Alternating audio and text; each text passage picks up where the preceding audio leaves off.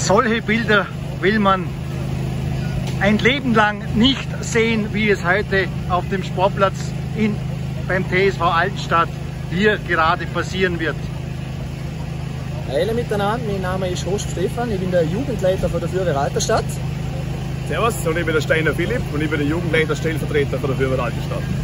Wir haben uns entschlossen, wir machen einen Action Day normal alle zwei Jahre. Letztes Jahr leider verschieben müssen wegen Corona. Heuer der zweite Anlauf. Und haben das natürlich groß aufgezogen, dass wir da mit anderen Jugendfeuerwehren wie Rankwell und Giesingen und der Stadt Übungen machen. Jetzt die Abschlussübung war ein schwerer Verkehrsunfall. Im Hintergrund sieht man es mit mehreren verletzten Personen eingeklemmt.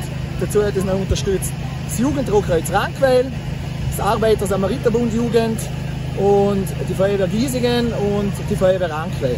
Und als Highlight haben wir noch die Schenke gekriegt.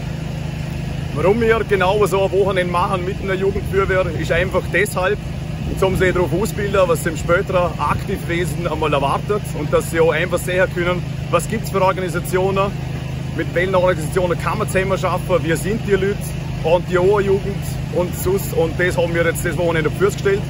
Und ich glaube, das Endergebnis, was wir das Wochenende gemacht haben, das Ganze einfach sehr erlauben.